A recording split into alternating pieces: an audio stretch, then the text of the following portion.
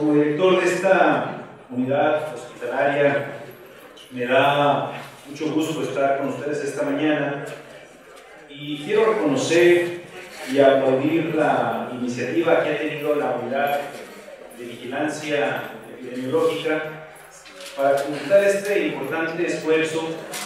el objetivo principal es de concientizar con un tema fundamental y que además trasciende todos los servicios de este hospital, que es la higiene de manos.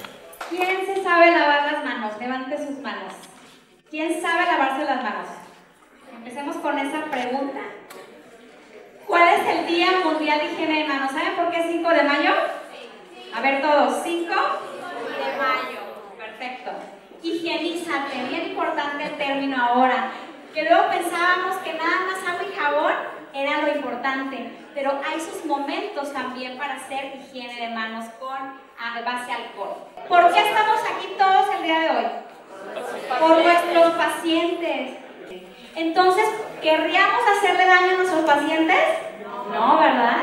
Entonces, esta plática va más orientada a la sensibilización de ustedes, de la salud de cada uno de ustedes que están aquí sentados y de la importancia de evitar transmisión hasta nuestras familias.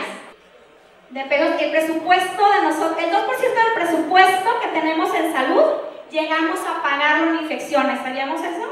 Por eso mejor hay que prevenir, porque esos recursos los podemos tener en otras cosas en nuestro hospital. Porque si yo mido, controlo. Si yo no sé cuántas infecciones tengo, pues cómo sé hacia dónde me voy a dirigir.